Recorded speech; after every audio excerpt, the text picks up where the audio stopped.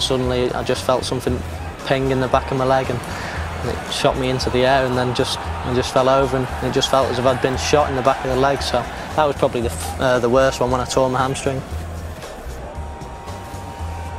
At first it, it wasn't too painful. Um, later on that night it was, it was sore. The idea of this obviously it quickens the healing process. Um, it's a very localised beam of um, activity that's going to hit right on that sore spot. You've got to be positive and you've got to deal with it.